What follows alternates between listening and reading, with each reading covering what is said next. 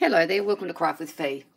Today I'm going to play with some of the um, brand new pre-order uh, items from the Stampin' Up soon to be released handmade for you Christmas catalogue. Now I'm not allowed to show you inside the catalogue until it goes on sale on the 1st of August. I think it's the 1st of August, but um, I can show you the cover. But I wanted to actually do a project today. I brought so many beautiful things on the pre-order They've been sitting in a box since last week, and I didn't didn't get a chance to even unpack them, let alone play with them. So last night I decided I was going to make um, a heap of customer thank you cards, and I decided to do them out of some of the new designer series paper. Um, now this range here is called Heartwarming Hugs. There are some beautiful, beautiful ranges uh, that have been released, but I'm just going to show you today this one because this is the one that I'm going to use in the project and you can see I've already used some. So um, I'll just show you the front and back of these papers but you can see that they're not just Christmassy you know they can be used at any time of the year. This is the one here that I have used in my project. But of course you know they're, they're done with papers as Real Red Mossy Meadow. But yeah not just for Christmas a beautiful gingham there which is just gorgeous beautiful red spot. And then a Christmas stripe. And then we have a green spot and a check on the back. And then this one here, that's gorgeous too, isn't that lovely? And that one oh, reminds me of tweed. And then that's it. So you get your 12 sheets, two, two of each, and of course they're double-sided designs. As mentioned, this is the one that we're using in today's project. Now, I absolutely adore when Stampin' Up, and it's one of my favourite things about Stampin' Up, when they release a stamp set that has an accompanying punch. That is so much fun um, because it's just so easy to cut it out. You don't need dies. Um, and the punches are really, really good quality, and I can operate them really well with my hands. I don't have to push too hard, and yeah, they're great. So that's what we're going to use today. We're also going to use this gorgeous um, winter snow embossing folder. They have a whole snowflake range in this uh, new catalogue, and I've ordered them all, so we will be playing with them down the track. But for this card, I wanted to showcase the embossing card, uh, embossing folder, sorry. And this is it here. And I've already gone ahead and embossed my piece of real red, but I'm not sure if the camera is going to pick up that beautiful embossing, but that is extraordinary. It's just delightful. I love it. So, without any further ado, we'll make this card. It's a very, very quick and easy card. It's There's nothing complicated about it at all. You need a Whisper White card base, which is 5 and 7 eighths by 8 and a quarter, and it's just scored down the middle. Um, and then the piece of real red is 5 and 5 eighths by 4 inches. And as I said, I've embossed that with the beautiful snowflake embossing folder. Then you'll need a couple of scraps of Whisper White that we're going to stamp on. And then you'll also need um, two pieces of your designer series paper, and I'm using the green. And this piece is five and five eighths by one inch. And then we're going to put a cross cut across to make it look like a parcel, and that piece is four inches wide. So it's the same measurements as your piece of real red, and um, just one inch wide. So what we'll do to begin with, because I've already embossed my piece of card there, we will just use our liquid glue, which is getting empty and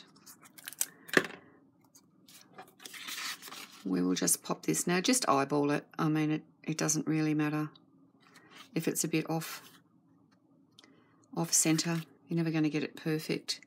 Um, but you can use a mat just to try to you know get it fairly straight. And if you've got any overhang and I've got just a teeny teeny tiny bit of overhang there, we'll just snip that off so that it's level.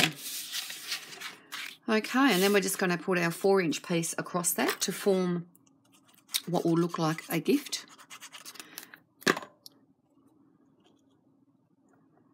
So that just goes across like that. I mean, you couldn't get an easier card really than this. This is just effective, but super, super easy. So we'll just pop that um, onto our piece of Whisper White now.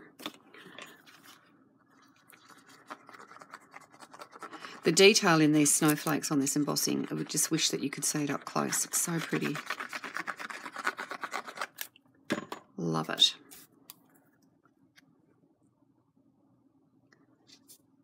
Okay. It looks okay. So now that's all that's left to do is our bit of stamping. So we're going to use two stamp blocks. We're going to use our real red ink and we're going to choose one of the bows. Now these are the bows that fit um, in the punch. So we're going to use this one here with all the lines on it. That one is my favourite.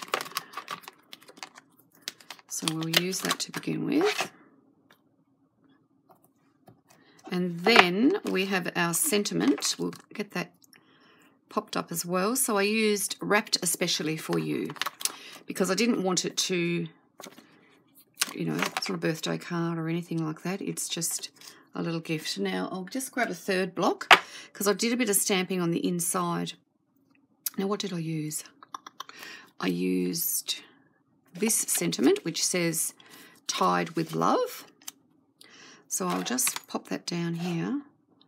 So it was tied with love. And then there's a teeny tiny little piece of holly and berries. And I just popped that up so it was on an angle of the wording. And then just pop your block over that. And that's what I used in the centre. So this has got 12 stamps in it. And as I said, these three larger ones do fit in the punch.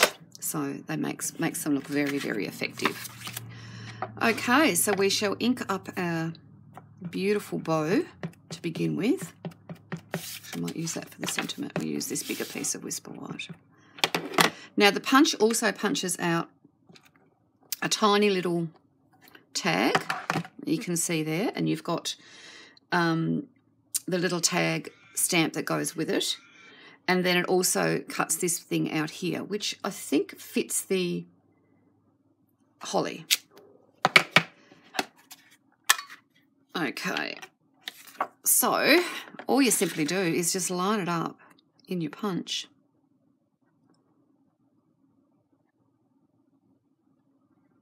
Just trying to get it about right. You can see those other little bits there that punch out. Just going to get rid of those. We don't need those.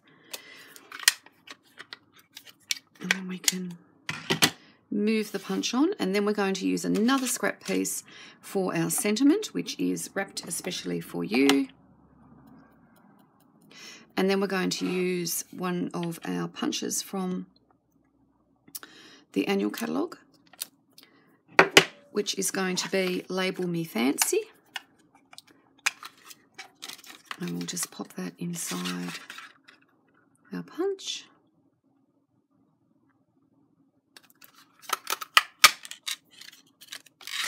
Beautiful. And then, before we put those onto the front of the card, we might as well stamp the inside. Um, and we're going to pop our card up this way, I think, this time, because I've I've managed to put it on the wrong way. Of course I did, because I'm on camera. It's okay. There's no errors. We can fix them all. Here we go. So we'll get rid of our ink.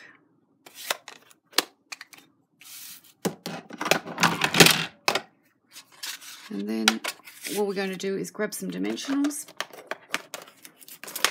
And we're also going to use some bling. So the bling we're using is Red Rhinestone Basic Jewels, and they're in the annual catalogue as well. So I've got a little piece of cut dimensional from around the edges of my dimensionals use those up on your little spots.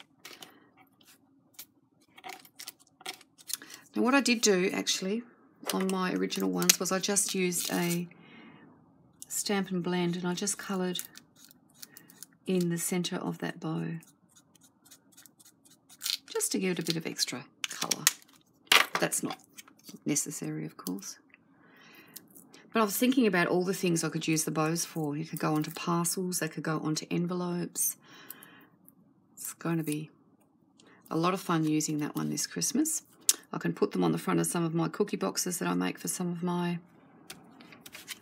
people, like the vet surgery, always make them something every year. So these will be, yeah, really, really handy.